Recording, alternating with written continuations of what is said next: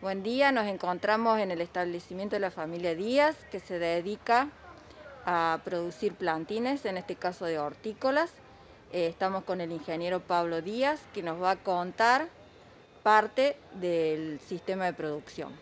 Bueno, buen día. Esta mm, es eh, la máquina de siembra, le voy a pasar a mostrar el procedimiento de siembra.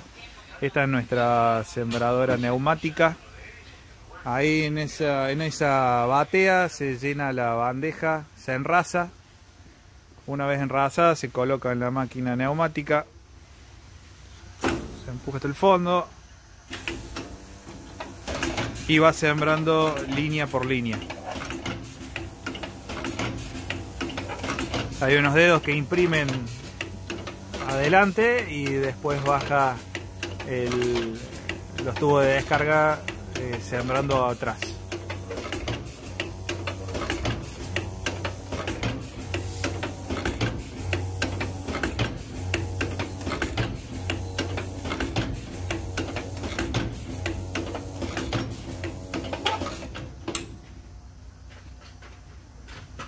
Esta es una, la cámara de germinación que utilizamos nosotros, es una cámara eh, térmica digamos, eh, está seteado para los cultivos que, hacemos 21, 22 grados, con más o menos un grado de amplitud térmica.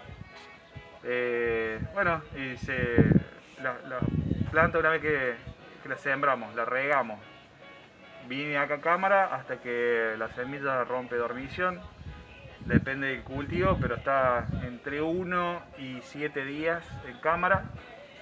Eh, bueno, la idea es darle las condiciones óptimas para que, para que germine lo antes posible y lo más parejamente posible. En plena producción, ¿qué capacidad tiene la cámara? Eh, entran 10 carros, 800 bandejas entran. 800 bandejas y la bandeja de cuántos alveolos?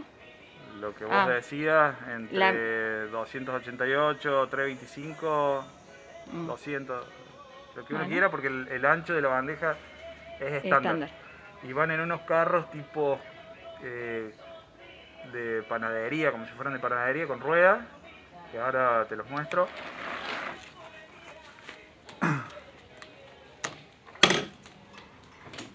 Donde van todas las bandejitas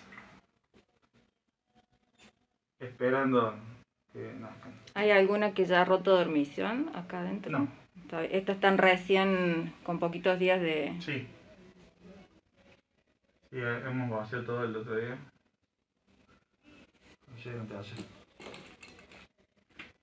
Bueno, buen día. Soy el ingeniero Pablo Díaz. Eh, estamos en, los invernaderos donde hacemos eh, lo que sería nursery. Eh, las configuraciones de las mesas están en función del ancho de la, superficie de la bandeja que utilizamos y de la ventilación que le queremos dar entre bandejas dependiendo del tamaño de la planta. Pablo, allá al fondo, ¿qué se ve? El ala de riego, eso lo, utilizamos para, para regar eh, en forma general, después puntualmente se hacen fertilizaciones, pero a mano y cultivo por cultivo, en forma diferenciada. ¿Está programado el riego, Pablo? No, por el momento no.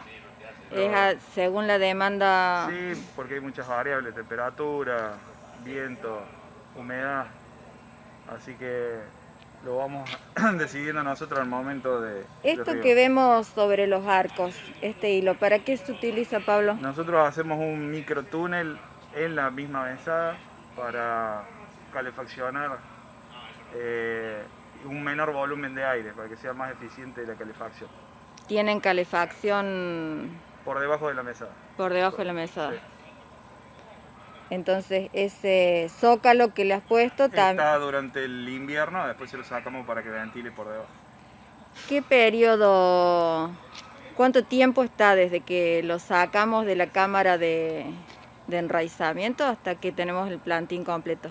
Después de cámara de germinación a la mesada y, de la mesada terminación, varía mucho del cultivo. Eh, entre los 45 a 70 días ahora en invierno y en primavera-verano entre 30 a 50 días, dependiendo también del cultivo.